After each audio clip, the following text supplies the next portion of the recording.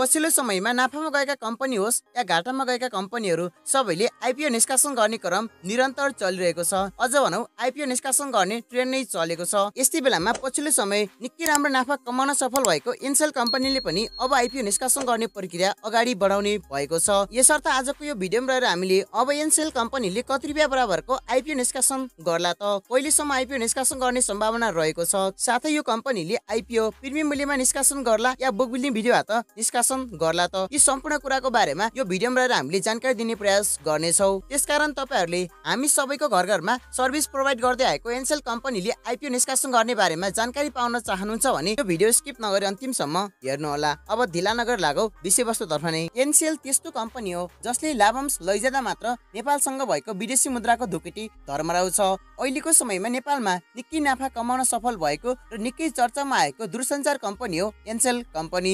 यसर्थ यो कम्पनीले नाफा पनि अत्याधिक कमाउने गर्दछ र वर्षेनी यो कम्पनीले निकै ठुलो मात्रामा डलर यानि कि विदेशी मुद्रा लगिरहेको छ। सन् दुई हजार सोह्रमा मलेसियाको कम्पनी आजियाताले खरिद गरेपछि लगातार उकालो लागिरहेको एनसेलको व्यापार हालका वर्षमा भने खुम्चिँदै गएको देखिन्छ। यसर्थ अब यो कम्पनीले लगानीकर्ताहरूमा सेयर बिक्री गरेर आफूले ताप कस्ने सोच गरेको छ यानि उम्किने दाउमा रहेको छ। अब इन्सेल कम्पनीको लाइसेन्स अवधि पनि विक्रमसम्म दुई हजार छ्यासी पछि सकिँदैछ यानि अब करिब छ वर्ष मात्र बाँकी रहेको छ। यसर्थ यस कम्पनीलाई अबको बाँकी छ वर्षमा धेरै नाफा कमाउनु पर्ने रहेको छ। हुन पनि एनसेलको कमाई चान्चुने छैन। पछिल्ला तिन वर्षमा एनसेलले आजियाता लिमिटेडले औसत चौरानब्बे प्रतिशतका दरले लाभांश बाँडेको छ। यानि कम्पनीमा पहिले कायम सेयर धनीहरूलाई यस कम्पनीले निकै धेरै मात्रामा लाभांश बाँडफाँड गरेको छ।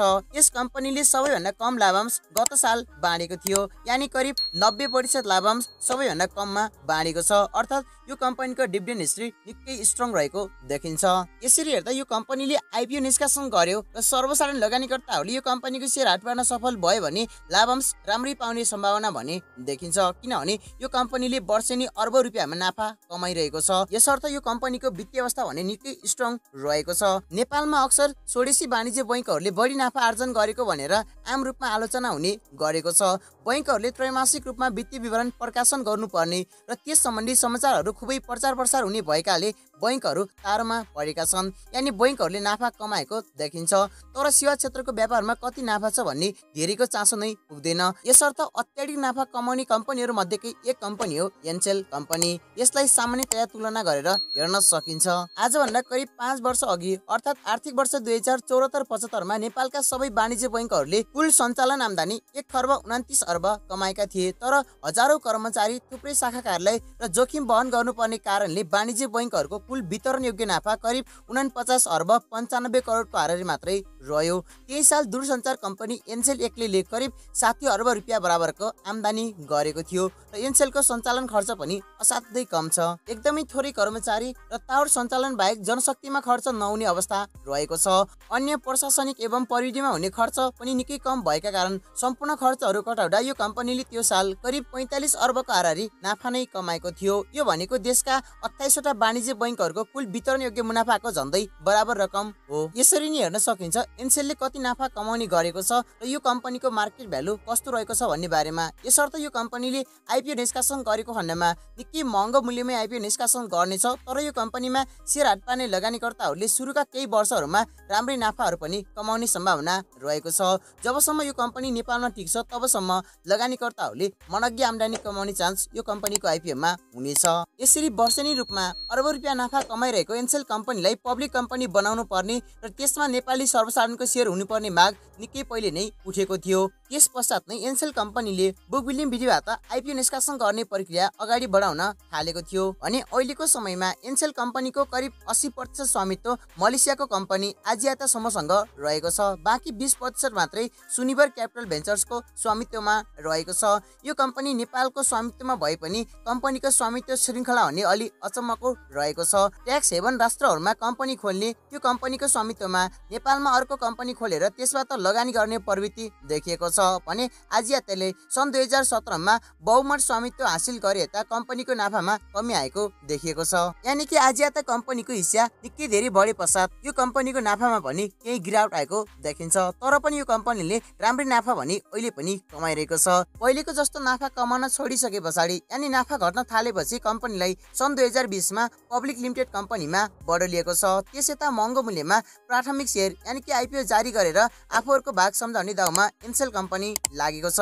यानि अब लगानीकर्ताहरूलाई आइपिओ निष्कासन गरी बाँडफाँड गरेर दोस्रो बजारमा कारोबारमा आएको खण्डमा आफूहरूले महँगो मूल्यमा सेयर बेचेर भाग्ने दाउमा इन्सेल कम्पनीका ठुला लगानीकर्ताहरू रहेका छन्। यस अघि नै बुकबिलिङ भिडियोबाट निकै महँगो भाउमा सेयर बेच्न भनेर इन्सेल सहित उत्पादन तथा सेवा क्षेत्रका थुप्रै कम्पनीहरू पब्लिक लिमिटेड कम्पनीमा रूपान्तर भएका थिए। भने सन् दुई हजार तर विक्रम सम्मत दुई हजार अठहत्तर असोजमा नेपाल धितोपत्र बोर्डका तत्कालीन अध्यक्ष भीष्मराज ढुङ्गनालाई सरकारले बर्खास्त गर्यो। बुकबिलिङ विधिको कार्यान्वयन गर्ने सन्दर्भमा अवैध कारोबार गरेको आरोपमा उनी नियामक अड्डाबाट बाहिरिएपछि बुकबिलिङ पनि हरायो र एनसेल कम्पनीको आइपिओ पनि हराएको थियो। तर भर्खरै मात्र सर्वोत्तम सिमेन्ट कम्पनीले निकै लामो समय पश्चात बुकबिलिङ विधिबाट आइपिओ निष्कासन गर्नको लागि अनुमति पाएसँगै एनसेल कम्पनीले पनि आइपिओ निष्कासन गर्ने सम्भावना निकै बढेर गएको छ। यानि अब यो कम्पनीले पनि बुकबिलिङ विधिबाट आइपिओ निष्कासन गर्ने प्रक्रिया अगाडि बढाउन सक्ने देखिन्छ। विश्वराज ढुङ्गनाले बुकबिलिङ विधि मार्फत महँगो मूल्यमा सेयर निष्कासन गर्नको लागि सर्वोत्तम सिमेन्टको करिब बाह्र हजार किता सेयर आफ्नो छोरीको नाममा नामसारी गराएको पाइएको थियो। त्यसरी आफूले ठुलो सङ्ख्यामा सेयर प्राप्त गरेर कम्पनीलाई अत्याधिक महँगो मूल्य लिन अनुमति दिने पर्पज रचेको पाइएपछि ढुङ्गानाको जागिर पनि गयो। यसले लाखौँ नेपाली लगानीकर्ताहरू ठगिनेबाट भने जोगिए। भीष्मराज ढुङ्गानाको जागिर गए पश्चात बुकबिलिङ कार्यान्वयनमा निकै समस्या देखेपछि एनसेल कम्पनीले आइपी निष्कासन गर्ने प्रक्रिया रोकेर चुक बसेको थियो। भने अहिले भर्खरैदेखि फेरि बुकबिलिङ प्रक्रिया नेपालमा सुरुवात भएको कारण अब यो कम्पनीले आइपिओ निष्कासन प्रक्रिया अगाडि बढाउनेछ। saw पछिल्लो समयमा निकै कमजोर कम्पनीहरूले पनि महँगो मूल्यमा आइपिओ निष्कासन गरिरहेको हुँदा लगानीकर्ताहरू निकै आकर्षित भएको देखिन्छ। तर पनि सर्वसाधारण लगानीकर्ताहरूले सबै कम्पनीहरूको आइपिओमा ओभर सब्सक्राइब गरेको देखिन्छ। यानि मागभन्दा अत्याधिक धेरै आवरण पर्दै आएको छ।